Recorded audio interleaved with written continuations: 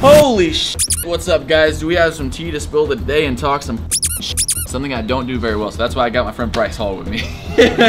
We're talking at a restaurant right now. and we got our friend Nikita with us because he's a professional fighter and make sure we don't miss anything and make sure nothing we say is incorrect. Because technically we are professional fighters now. Uh, nah, we're not professional. So first off, I'm gonna start off wild, kind of like Bryce did, and say all the YouTubers. Actually, all of them. You guys are all all the YouTubers in the event. My no, no, no, no. All YouTubers. No, in actually, yeah, general. all YouTubers. You guys are. I'm gonna start with my opponent. There's so much back and forth and so much false shit being said about me from Gib's side. I'm sure you guys heard about the I wanted bigger gloves and less rounds and all. I didn't. Shut the fuck up. No, I didn't. You, and you know that's you're just you're just trying to make up some fucking excuses because you're a bitch. Just keep in mind, guys. I weigh 165 pounds right now. Uh, with all the cardio we've been doing, I've been losing a lot of weight. I weigh 165 pounds, and Gib knew that whenever he called me out, had my dick all in his mouth trying to fucking call me out. He wanted this so bad because he's fucking irrelevant. So I got a text today saying that I need to come up to 170 Five pounds in order to fight Gib, And I said, fuck no, I'm the A side. He can fucking meet me on what I said and my expectations on everything because he was the one calling me out, literally fucking gobbling all my fucking balls. Every fucking post was about me and how like I'm scared to fight him, all this shit. You really and like him gobbling on your balls and sucking your dick. You want to talk about this? Whenever you told multiple guys at the event to suck your dick. I I said suck my dick. That's more of like a dominance thing. And he said it maybe once. No, I said it like eight times.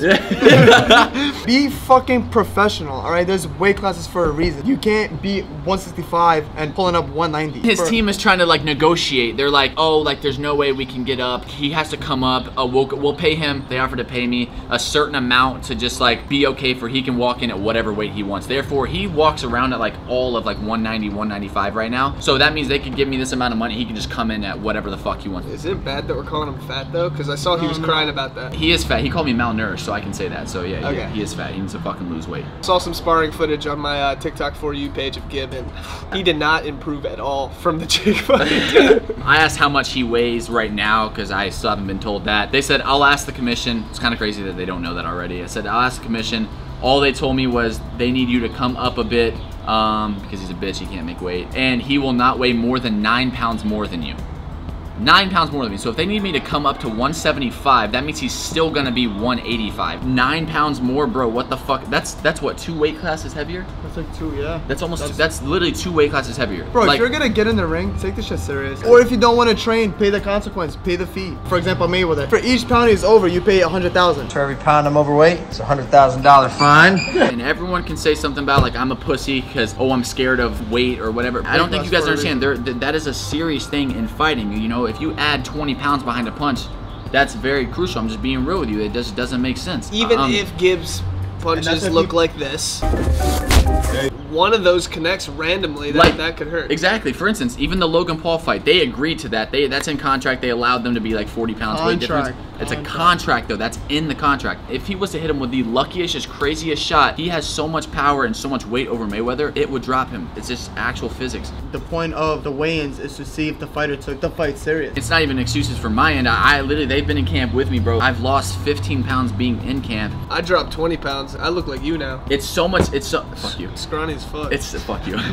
um, it's so much easier to cut weight than to come up in weight, especially when there's two weeks left until the fight. You're telling me to gain fucking 10 pounds. That's really fucking hard, actually. But I'll come up. I'll come up as much as I can. My proposal to you, Gib, like I said, you cannot be more than 175. I'm the A side. Quite frankly, you came in so last minute, and I don't give a fuck. You have no say in anything. You're a fucking just hand-me-down add-on at this point. It doesn't matter. Even if you get in the gym, you're gonna get dropped. It doesn't even matter. But Yeah. like, lose your fucking weight. Stop being a fucking the bitch. outcome's gonna be the same, but just lose your weight, dude. What's up with all these fighters coming in looking like the Pillsbury Doughboys? Yo, it's like if you're training hard, you're gonna lose that fat. So yeah, you're gonna see it June 12th. We are going to shock a lot of people. Austin's a pussy, but at least he's agreeing to make 165. the Yeah, weight. yeah, no. Eat less Overnight. food and run more. It's so simple. I know gaming is your career. Or whatever. Actually, I don't even know what the fuck. But all your videos, you're just sitting in that chair. Get out of the chair. Go to the gym. Lose that weight. Meet at 175. You're gonna gain 10 pounds for this shit. Get in the fucking gym, bro. Stop fucking slacking. Work your ass off. Trust me, you're gonna fucking need it. I just want to see a better uh, performance than your Jake Paul fight. Take control of the fight early. Yes. But when I saw that sparring footage on my For You page on TikTok, It Dude, you got worse. Yeah, it looks like you got worse. For those of you that want to watch me fucking knock this pussy out and watch Bryce knock out Austin, go to the link in the description down below. You can get tickets to come see it live at the Hard Rock Stadium in Miami, or there's also the pay-per-view link down below. You can buy it on pay-per-view and watch it live. It's Crazy. going to be a literal movie, and I can't wait for all the haters to just shut the fuck up. Remember, we're just TikTokers. We're just TikTokers. Should we show some training footage? That'll be next video. Don't worry. Fuck you, give your pussy. Dump and jump for the shit up top when I speak. All cap with the speech till they caught up in the rapture. I'm so out of line with the phrase game. Let's take a break, been a long day. Hit your line with your fall through with the light sticks. Maybe help me spark.